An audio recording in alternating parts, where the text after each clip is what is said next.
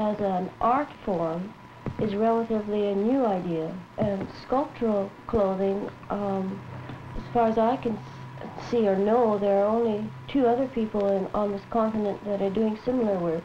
One of them is Karen Rowden in Vancouver, who's doing um, some woven and knit articles.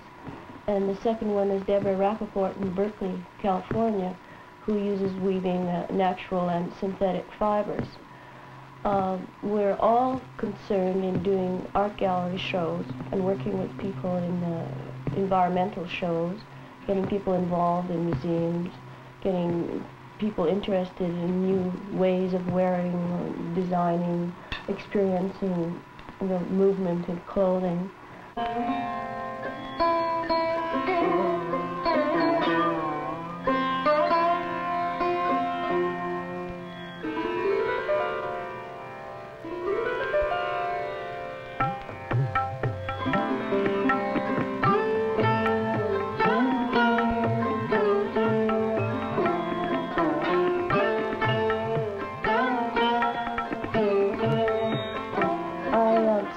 Designing clothing for friends and people about 10 years ago, but I've started working in clothing as a sculptural form only about four years ago.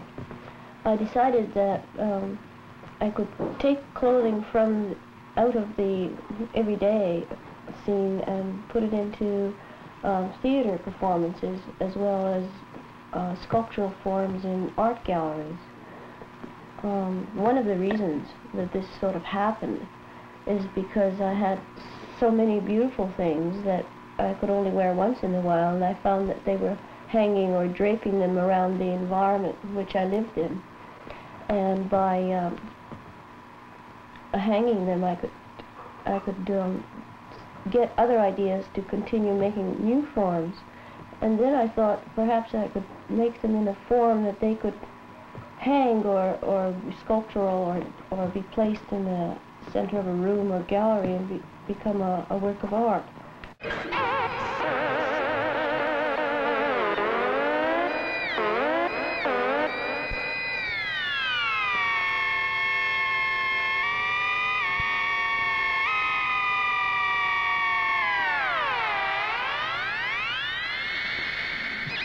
Of the uh, wearables that I've made are uh, well, I can say a clump or really no form.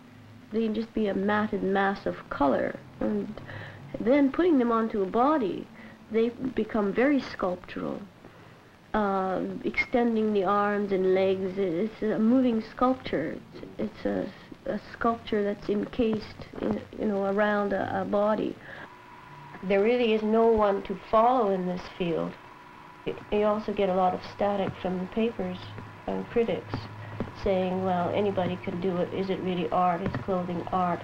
Well, the problem is of, you know, of making it, you know, a pure aesthetic form and, and uh, where it's placed and, and how it's done. I mean, what is art today?